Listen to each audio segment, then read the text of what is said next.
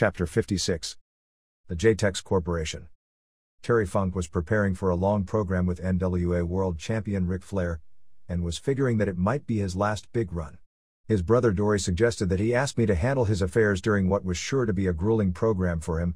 Even though I had just turned down managing Vader, and passed on Sid Vicious and Danny Spivey, managing Terry Funk was different. First of all, I wouldn't be developing him, just watching out for him and taking care of his business. Second of all, I had managed him on other occasions, like in Florida. Thirdly, after all Terry and I had been through together, how could I possibly say no? Anytime I could ever do anything for the Funk Boys, I did it. I've managed them both and wrestled them both, and we've always had a good relationship. When I became Terry's manager, I made things as easy as possible for him. That way, the only thing he had to concern himself with was the match itself. Everything else I would handle his positioning on television, his interview content, angles, finishes, and things like that.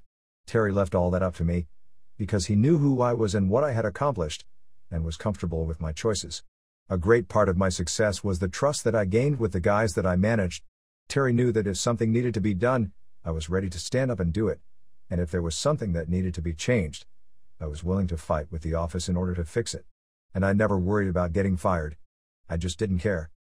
Around this time, the management started offering contracts to all of the talent. I told Jim Barnett that it would be a conflict of interest if I signed one, because the great Muta and Terry Funk could no longer look at me as a free agent looking after them. Call me crazy, but I felt that as someone who manages talent, if I had a contract with the company, it would be a conflict of interest, because I would be expected to do what was best for the company rather than for my guys. I was old school though, and my whole life had been on a handshake deal. I didn't need a contract. I was a man of my word, and that's what I lived on.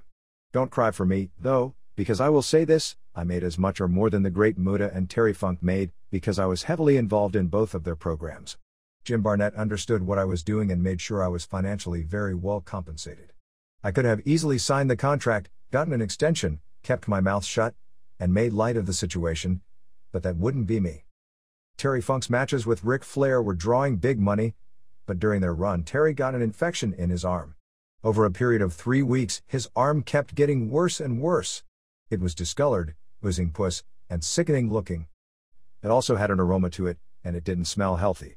Anyone who knows Terry knows he doesn't complain about being hurt. Every night as I wrapped his arm up, I would nag Terry, You've got to take time off. I'm wrestling the nature boy on top in full buildings, making money, and you are too. He would argue. That's true, I would concede.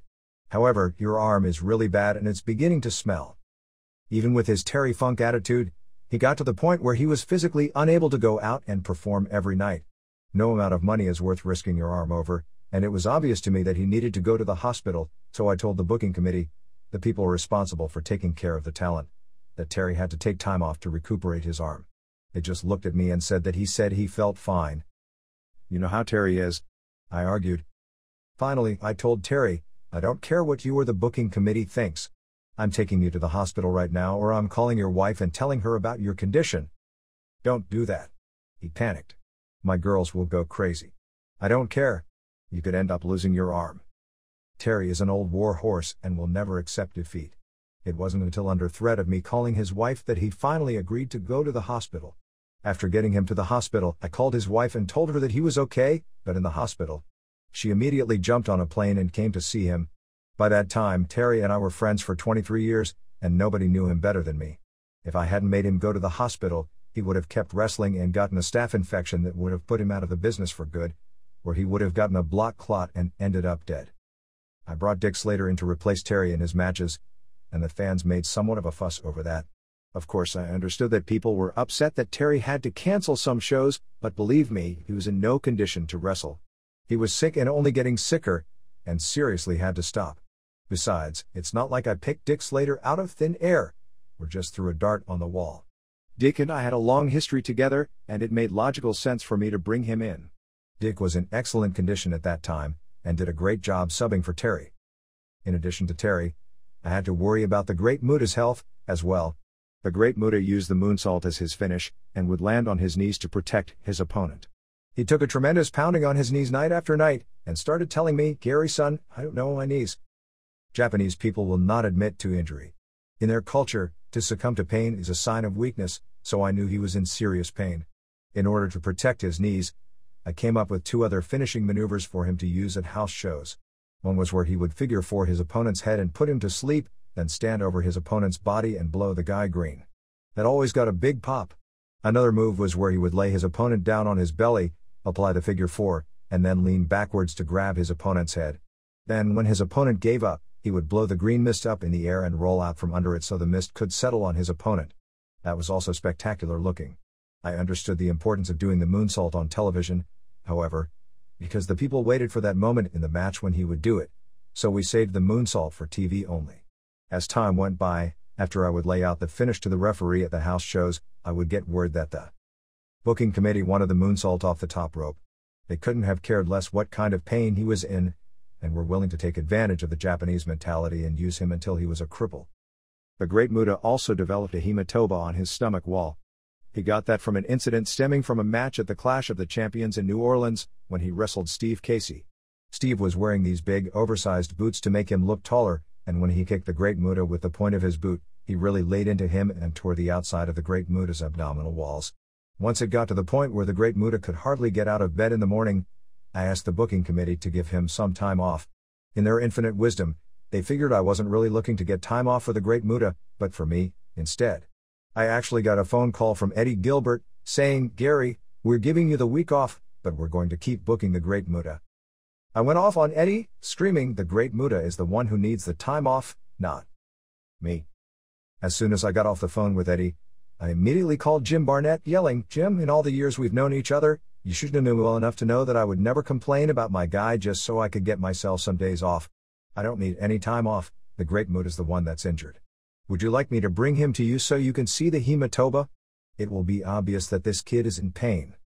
For them to think that I was trying to hustle a few days off for myself using the Great Muta as an excuse was insulting to me, and it showed their total incompetence.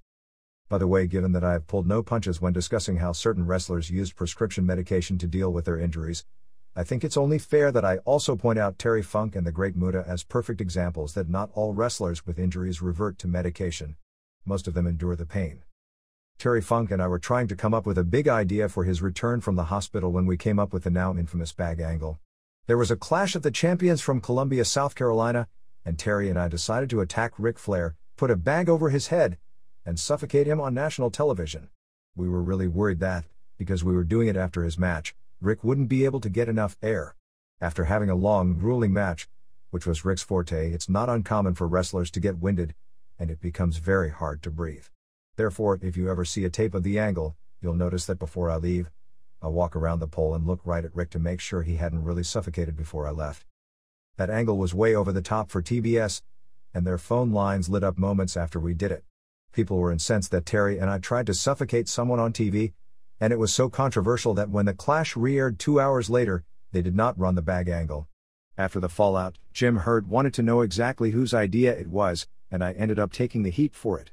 Interestingly, that particular angle is still a hot button issue, because when the WWE put it on their Best of Ric Flair DVD recently, England made them take the bag angle out before it could be sold over there.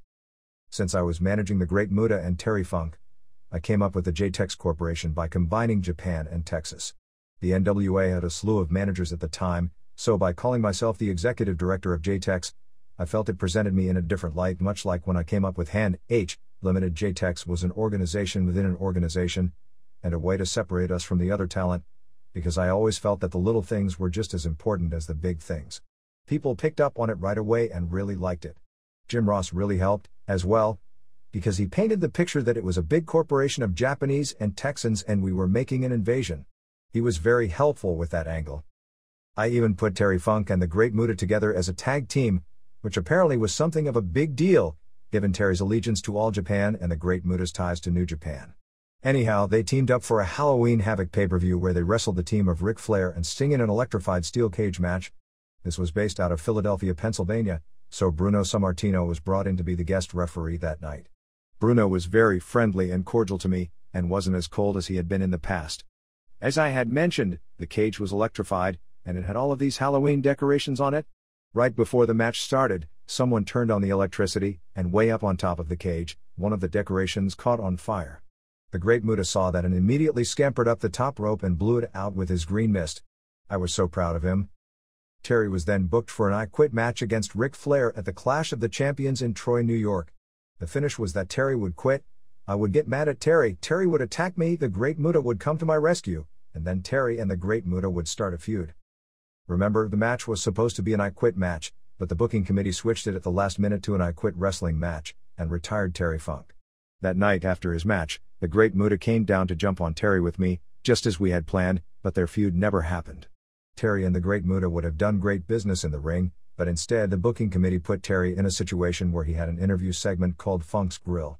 Then, they never followed up on him, and just ignored that he was there.